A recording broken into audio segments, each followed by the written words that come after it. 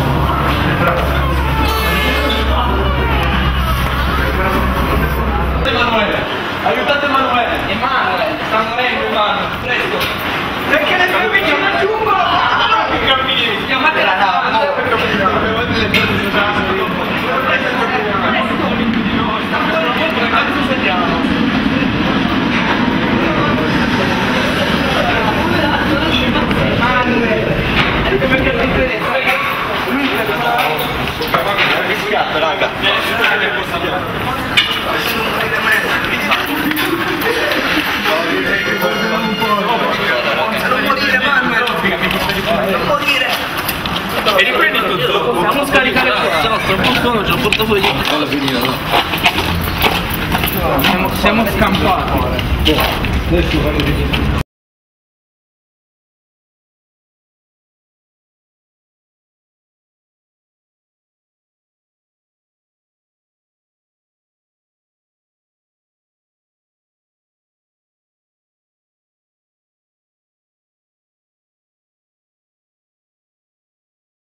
La sicurezza nel laboratorio di TDP.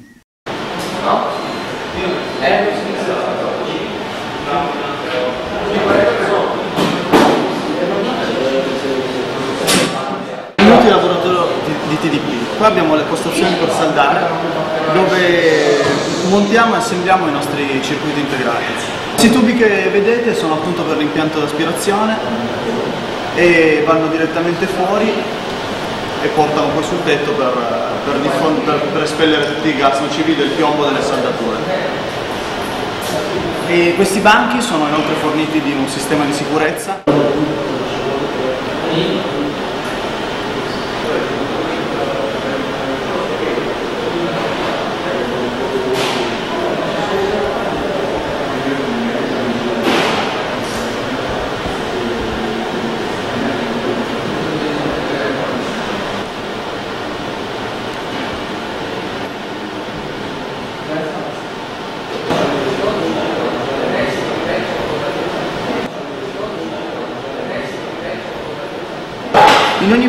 possiamo trovare l'interruttore differenziale, che è questo fungo qua rosso, e in caso di contatto interrompe immediatamente la, la trasmissione di corrente.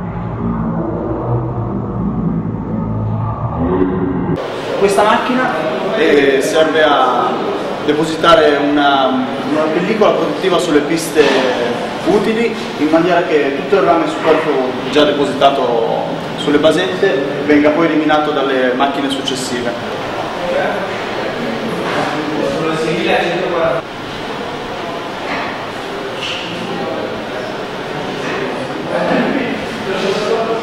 Oltre qui in basso troviamo dei recipienti per il recupero degli acidi esausti che vengono smaltiti in seguito. Arrivati qui siamo arrivati all'ultimo passaggio della, della, nostra basetta. Questa, questa, macchina ci, ci, permette di togliere la pellicola che avevamo depositata all'inizio per proteggere le piste di rame utili. E una volta uscita da questa macchina procediamo al lavaggio con semplice acqua e ci spostiamo da questa parte. Da questa parte troviamo dei trapani che ci permettono di forare i,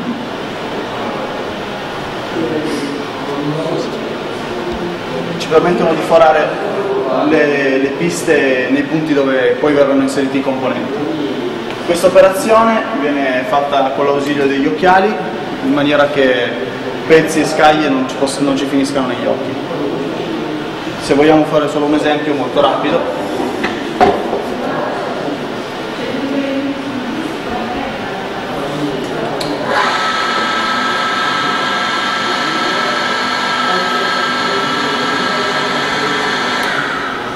Come vedete è un'operazione semplice ma senza l'ausilio di occhiali e attrezzature professionali risulterebbe complicata e soprattutto molto, molto dispendiosa di tempo. Quest'ultima parte troviamo un trapano, un trapano a colonna, una mola e una sega circolare.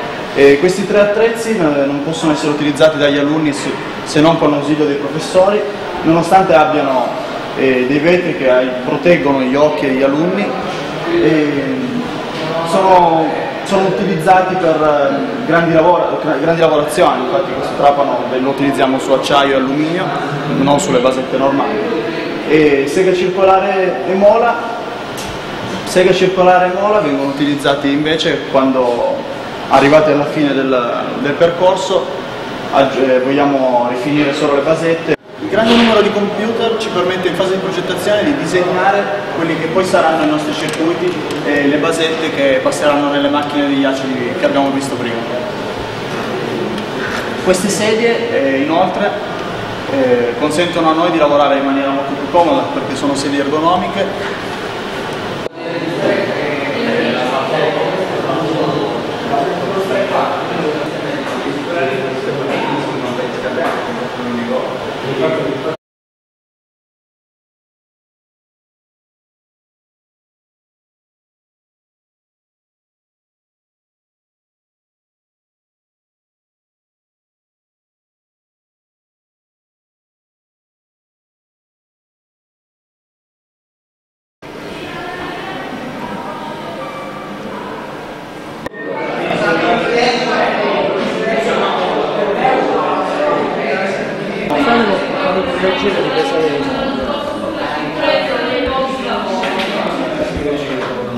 Allora, gruppo numero 2.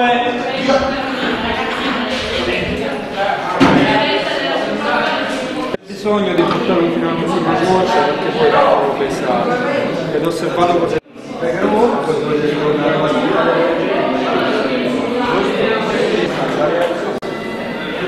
Quali sono le norme principali di sicurezza quando state in questo laboratorio?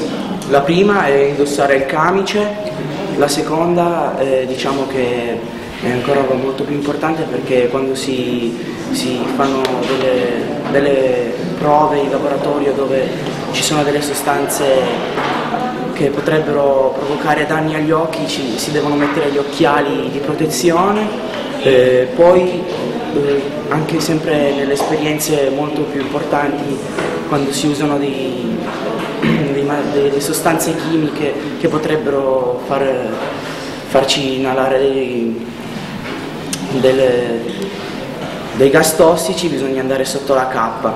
Poi quando si usano delle fiamme libere bisogna raccogliersi i capelli sulla nuca quando si, quando si, si hanno i capelli troppo lunghi e, e a fine esperienza lavarsi le mani con cura eh, per evitare che se magari poi successivamente c'è l'intervallo miglioriamo delle, delle sostanze che abbiamo abbiamo utilizzato in precedenza. Poi in laboratorio è vietato utilizzare strumenti non legati alle attività che svolgiamo, eh, muoversi bruscamente o parlare ad alta voce e soprattutto mangiare o bere dopo che si hanno toccato delle, delle sostanze chimiche molto dannose. Poi all'inizio anno i professori ci hanno consegnato questo muscolo dove sono, dove sono diciamo, rappresentati tutti i simboli di pericolosità dei, dei prodotti. Eh, questi simboli ci aiutano a capire bene la, la sostanza che stiamo toccando e soprattutto eh, cosa, cosa, potrebbe succedere eh, se, quando, se noi tocchiamo o ingeriamo una sostanza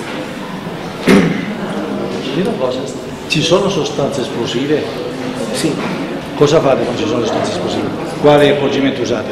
Beh, quando ci sono le sostanze esplosive, praticamente più delle volte i professori ci, più, più delle volte i professori ci, ci, aiutano e comunque ci danno una mano perché comunque sono sostanze molto, molto pericolose.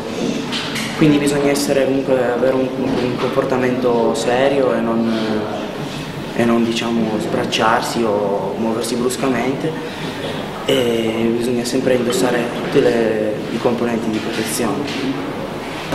Ogni sostanza che utilizziamo comunque ha un suo, una sua etichetta dove è rappresentata il suo simbolo di pericolosità, appunto, dove noi riusciamo a capire come comportarci.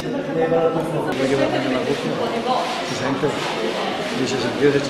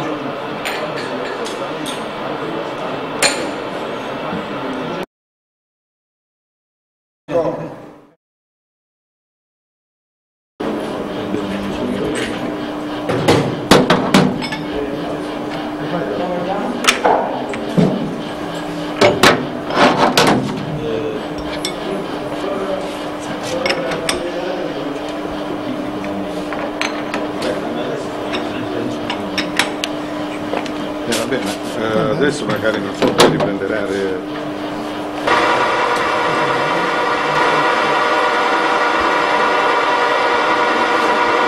Scusa cari cari, puoi per cortesia spiegare un po' sulle norme di sicurezza per far sì che non succedano incidenti vari, cosa bisogna fare prima di iniziare a lavorare? Sì, eh, inizialmente bisogna controllare che tutti i bulloni siano serrati nella macchina il pezzo sia serrato correttamente, eh, poi bisogna naturalmente allineare l'utensile in modo che l'asse dell'utensile sia sull'asse del pezzo, poi prima di lavorare bisogna abbassare tutte le protezioni, gli schermi, qui ci sono anche dei micro interruttori che servono a non far partire la macchina in caso ci si dimentichi di abbassarlo poi naturalmente anche il salvavita deve funzionare correttamente, bisogna vedere se schiacciando il pulsante si abbassa e stacca la corrente in tutta la macchina.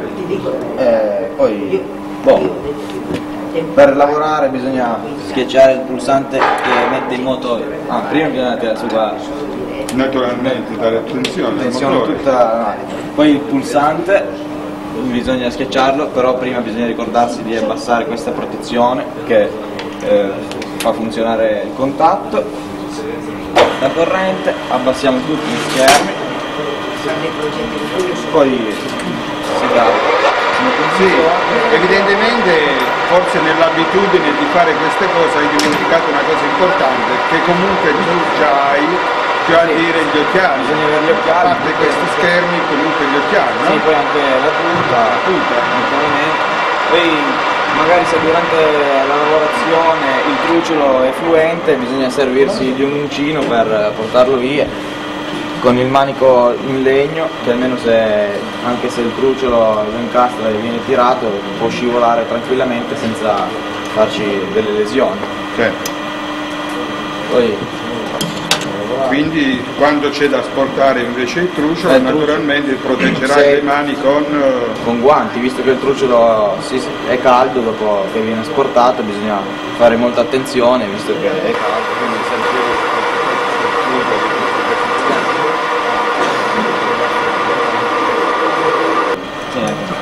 E poi dopo un'altra cosa che in effetti io mi saltando che tu pure già hai a Correto, e cioè a dire un altro particolare, Sì, cioè le scarpe antinfortunistiche Eh. eh, vengono utilizzate, come sono, come sono queste scarpe antinfortunistiche? hanno una lamina di acciaio sulla punta che serve per eh, in caso di caduta di qualche pezzo così non eh, ci facciamo male eh, ai piedi. Oltre alle scarpe antinfortunistiche bisogna avere anche una tuta con delle proprietà adeguate, per esempio deve avere gli elastici ai polsi, ai fianchi, non deve avere delle cinture, eh, non deve avere delle pattine e nient'altro che sporco che possa andare a incastrarsi nella macchina.